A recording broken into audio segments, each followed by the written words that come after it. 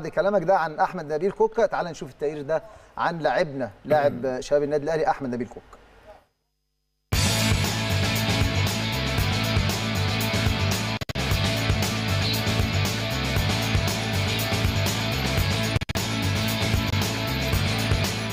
بدايتي مع الكرة زي أي حد بدأت آه، اللي هو لعب في الشارع وكده وبعدين آه، رحت مركز شباب الباستين.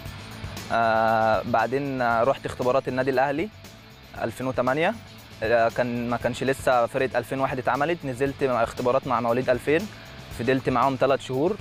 وبعدين نزلت أكاديمية نادي الأهلي آه، على ما فرقة 2001 تتعمل. فضلت ثلاث شهور آه، في الأكاديمية. وبعدين طلعت من أكاديمية النادي الأهلي للناشئين. كانت فرقه 2001 اتعملت. نزلت اختبارات معاهم. والحمد لله يعني الدنيا مشيت كويس. ومن ساعتها في النادي الأهلي بقى لي 11 سنة الحمد لله يعني.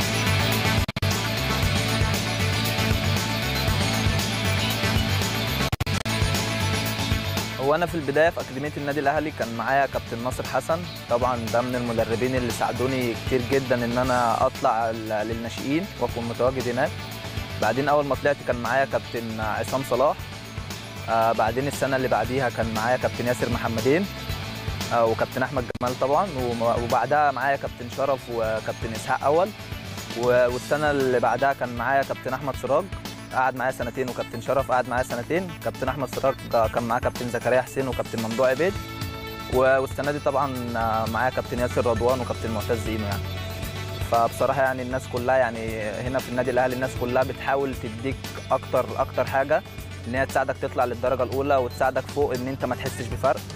فبصراحة يعني كل المدربين بتيجي تشتغل على الحاجات اللي ناقصة عندك فالناس كلها بصراحة يعني اشتغلت وأثرت فيها كتير جدا وبتحاول تطور مني يعني كل سنة وأنا بحاول أساعدهم يعني. أنا في الأول في الأول بطولات المنطقة دي واخد بطولتين منطقة منطقة القاهرة واخد أربعة بطولة جمهوريه وكان في بقى بطولات كتير اتلغت بسبب الأحداث المؤسفة اللي حصلت دي أحداث بورسعيد وأحداث الزمالك والثورة فكان في حوالي ثلاث بطولات اتلغوا ومعايا أربعة جمهورية وخدت اثنين منطقة القاهرة وأنا صغير. أنا في الملعب مركزي الأساسي بلعب رقم ستة بس يعني شاركت في كذا مركز خلال السنين اللي فاتت دي لعبت ستة وثمانيه ولعبت back left ولعبت تحت الفراوده فبلعب الحمد لله يعني بلعب في كذا مركز وبحاول أطور من نفسي في الحتة دي لأن دايما بتساعدك إن أنت تكون متواجد بشكل أساسي إن أنت تلعب في كذا مكان. مثل الأعلى في مصر حاليا ديانج آه، مع النادي الأهلي. ديانج ماشي بشكل كويس جدا الناس كلها بتتكلم عليه لعيب كويس بيطور من نفسه عن أول ما جه. وعالميا كان